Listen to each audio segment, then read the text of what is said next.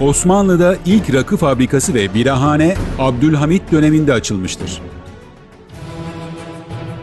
Abdülhamit Osmanlı tarihinin değerli padişahlarından biridir. Ancak iktidarda olduğu yıllar Osmanlı'nın maddi manevi çöktüğü bir dönemdir. Bu çöküşün önemli sebeplerinden biri de Abdülhamit devrinde açılan içki fabrikalarıdır. Ruh ve beden sağlığına son derece zararlı olan içki bu dönemde Osmanlı'da üretilmeye ve yoğun şekilde tüketilmeye başlanmıştır. Abdülhamit ise Yıldız Sarayı'nda adeta ablukaya alınmış ve kendisini kuşatan İngilizlerin devletinin oyunlarına yenik düşmüştür. Tüm devlet büyükleri gibi saygıyı hak etmektedir. Ama o dönemi Osmanlı'nın kudretli günleri gibi kendisini de hatasız evliya bir şahıs gibi göstermek tarihi gerçeklere uygun düşmemektedir. Osmanlı'nın en geniş toprak kayıpları, ilk rakı fabrikasının ve birahanenin açılması, sigara üretiminin başlaması, genel evlerin ve gayrimeşru hayatın yaygınlaşması, Avrupa'ya şarap ihracatı yapılması, Allah'ın varlığını inkar eden Darwinizmin Osmanlı'nın dört bir yanına yayılması, bizzat İngiliz paşaları ve onların destekçilerini devlete atayarak Osmanlı yönetiminin İngilizlerin devletinin eline terk edilmesi, Osmanlı donanmasının çürütülmesi, Duyuni Umumiye ile Osmanlı'nın ekonomik olarak batıya tam bağımlı hale gelmesi ve İslam ümmetinin dağılması Abdülhamit döneminde olmuştur.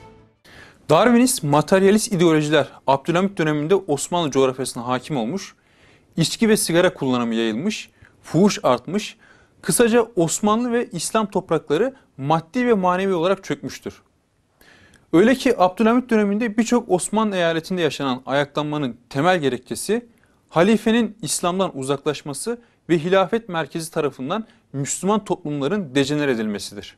Abdülhamit'in izniyle açılan Bomonti Birhanesi Abdülhamit döneminde ilk birahane İstanbul'da Bomonti kardeşler tarafından kuruldu. Selanik'te de Olimpos bira ve şampanya fabrikası açıldı. Fabrikaların arz tezkiresine yani üretim iznine Abdülhamit kendi imzasıyla onay verdi. Bomonti Birhanesi'nde yılda 7 milyon litre bira üretiliyordu. Zamanla üretim 10 milyon litreye kadar çıktı.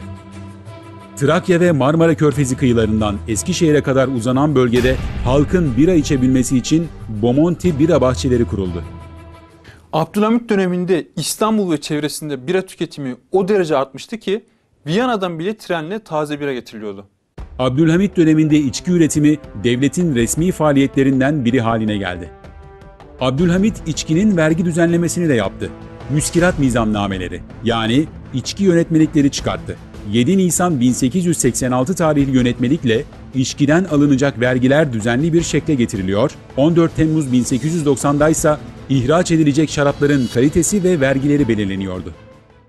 Halife ünvanını taşıyan 2. Abdülhamit'in içki konusunda yönetmelikler yayınlanarak içkiden gelir sağlanması Osmanlı'nın içinde bulunduğu durumun vahametini ve İngilizlerin devletinin baskısını görmek açısından dikkat çekicidir. Abdülhamit dönemine ait Yıldız ve Dolmabahçe Sarayı'nın masraf defterleri incelendiğinde ruh ve beden sağlığına son derece zararlı olmasına rağmen saraya hangi cins şarapların, şampanya ve içkilerin girdiği kolaylıkla görülecektir. Nitekim Abdülhamit'in torunu da Abdülhamit'in Rom sevdiğini ve içtiğini şöyle anlatmaktadır. İçki içer miydi e, Abdülhamit? İçki yani içkici değildi. Evet. Akşamcı değildi. Ne içerdi? Arada sırada bir rom içerdi. Niye Rom? Ve babama söylerdi derdi ki bak derdi ben bunu içiyorum çünkü bu yasak değildir. Kur'an'a bak. Orada şarap diyor. Şekerli suyundan hiçbir bahsi, bahsi geçmiyordu. Rom çünkü şey, e, şeker. Şekerle yapılıyor tabii. Onun için derdi bu hiç hiç şarapla alakası yok. Alkol meselesi hiç ondan bahsedilmez. Türkiye'de ilk rakı fabrikası da Abdülhamit döneminde açıldı.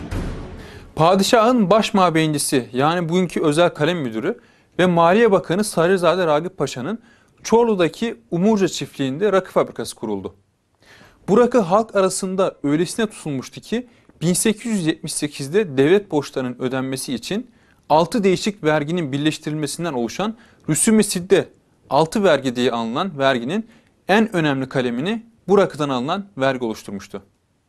Abdülhamit döneminde başka rakı fabrikaları da açıldı. Örneğin Niğde'nin Fertek kasabasında Fertek rakısı üretilmeye başlandı. Boğaziçi, Ruh, Alem, Deniz Kızı gibi rakılar birbirleriyle yarışır olmuşlardı. Saray görevlilerinin bile rakı ürettiği Abdülhamit döneminde en çok tüketilen rakılardan bir diğeri de üzüm kızı rakısıydı. Buna tanıtım resmi nedeniyle halk kızlı rakı derdi. İnsan sağlığına son derece zararlı olan, toplumsal düzenin ve ahlakın bozulmasına sebep olan içkinin bu derece yaygınlaşması Osmanlı'yı hızlı çöküşe sürükledi. Sadece 1896 yılında toplam şarap üretimi yaklaşık 86 milyon kilo. Rakı üretimi 14 milyon kilo. Brandy üretimi 32 milyon kilo. Bira üretimi 1 milyon kilo. Toplam içki üretimi 102 milyon kilodur. Abdülhamit Bergama'da Yunan rakısı Uzo üretimi içinde ferman verdi. Avrupa bağlarında bozulmaya başlayınca başta Fransa olmak üzere Avrupa ülkeleri şarap ihtiyaçlarını Osmanlı'dan gidermişlerdir. Abdülhamit döneminde 1904'te imparatorluğun şarap ihracatı tam 340 milyon litreye çıkmıştı. Dönemin Osmanlı gazetelerinde şarap ilanları dahi yayınlanıyordu. 1889'da İstanbul Erenköy'de 700 dönüm arazi üzerine üzüm bağları kurulup şarap üretimi başladı. Ege'deki Sultaniye üzüm bağları Abdülhamit döneminde şaraplık üzüm yetiştirilen bağlardı ve buradan Avrupa'ya şarap satılırdı. Çeşitli markaların konyak ilan tabelaları İstanbul'un birçok yerine asıldı. Abdülhamit döneminde Erdekli Kontroni Efendi'nin damıttığı Osmanlı konyakları ise Paris'te yarışmaya girmiş ve madalyalar almıştı. Abdülhamit döneminde içki üretimi ve tüketimi o derece yaygınlaşmıştı ki Ayşe Fahriye Hanım'ın ilk baskısı 1883'te yapılan ve çok tutulan Ev Kadını adlı yemek kitabının 34. bölümü evde rakı üretimini anlatmaktaydı. Hatta gazeteci Ahmet Cemalettin Saraçoğlu'na göre Abdülhamit dönemi vatandaşlar için kocaman bir meyhaneydi. Elbette her insan istediği şekilde yaşamakta özgürdür. Ancak İslam halifesi olan bir şahsın içki fabrikaları açılması için kendi imzasıyla tezkire yayınlaması ve içkinin yayılmasına destek olması kabul edilir bir durum değildir. Kovulmuş şeytandan Rabbime sığınırım. Ey iman edenler! İçki, kumar, dikili taşlar ve fal okları ancak şeytanın işlerinden olan pisliklerdir. Öyleyse bunlardan kaçının. Umulur ki kurtuluşa erersiniz.